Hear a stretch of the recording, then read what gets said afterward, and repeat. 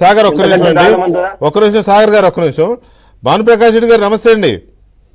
నమస్కారం అండి.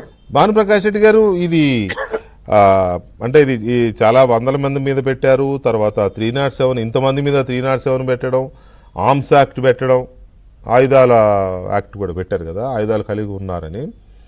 సో మరి ఇంత పెద్దది ఇది సిబిఐకి ఇవ్వాల్సి ఉంటుందా? లేకపోతే ఏపీ సిఐడి చేస్తే సరిపోతుందా? వెంకటకృష్ణ మీకు ప్యానెల్లో ఉన్నటువంటి శ్రావణ్ అన్నకి మిత్రుడు విద్యాసాగర్కి నమస్కారాలు.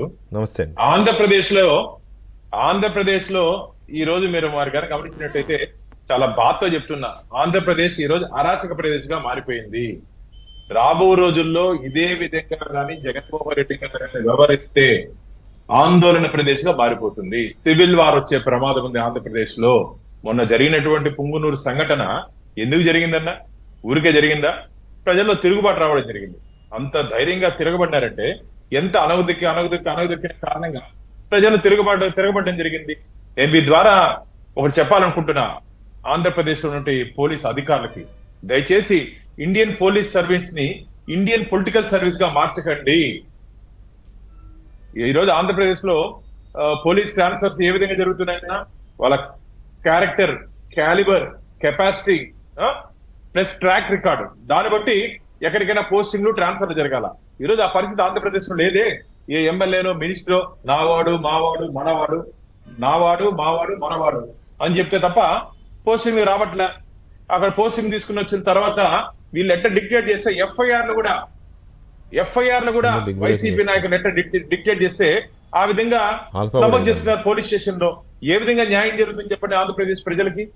ఆంధ్రప్రదేశ్. చాలా సందర్భాల్లో చెప్పడం జరిగింది. ఆంధ్రప్రదేశ్లో ఐపీసీ సెక్షన్లు పనిచేయట్లేదు వైసీపీ సెక్షన్లు పనిచేస్తున్నాయి. ఇది చాలా ప్రమాదము. ప్రజాస్వామ్యంలో ఇది చాలా ప్రమాదము. ప్రమాద గంటికలు మోగిస్తున్నారు జగన్మోహన్ రెడ్డి గారు. దయచేసి ఇది మంచిది కాదు. అందులో భాగంగా చల్లబాబు గారిని అరెస్ట్ చేస్తే ఇమ్యూనిటీ గా తీసుకుపోయి ప్రొడ్యూస్ చేయాలి కదా మీరు బయట చేయడానికి ముందు.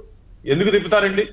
త్రిపుల్ ఆర్ని కూడా గతంలో వాళ్ళ పార్టీకి సంబంధించిన ఎంపీని కూడా మనకి ఏ విధంగా జరిగిందో ఒకసారి మీరు మా అందరికీ తెలుసు. ప్రపంచం అంతా తెలుసు ఏ విధంగా జరిగిందో.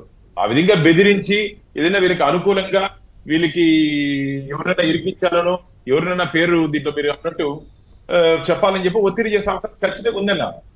ఇది మంచిది కాదు. ప్రజాస్వామ్యంలో పోలీస్ అధికారులు ఇలా చేయడం మంచిది కాదు. మీరు ప్రజల పక్షాన ఉండాలి. అధికార పక్షాన కాదు. మీరు ప్రజల పక్షాన నిలబడాలి.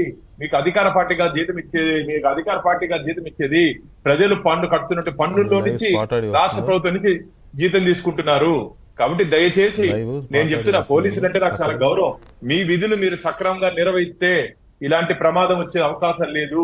కాబట్టి మీ మీ ఐపీసీ సెక్షన్ ప్రకారం ఏ విధంగా పనిచేయాలో మీ ట్రైనింగ్లో ఏ విధంగా పనిచేయాలని అనుకున్నారో మీ ట్రైనింగ్లో ఏ విధంగా పనిచేయాలనుకున్నారో ఆ విధంగా పనిచేసి ప్రజల దగ్గర భానుప్రకాష్ రెడ్డి గారు కానీ భానుప్రకాష్ రెడ్డి గారు ఒక్క నిమిషం అండి. మీరు పక్కన ఫుల్ స్క్రీన్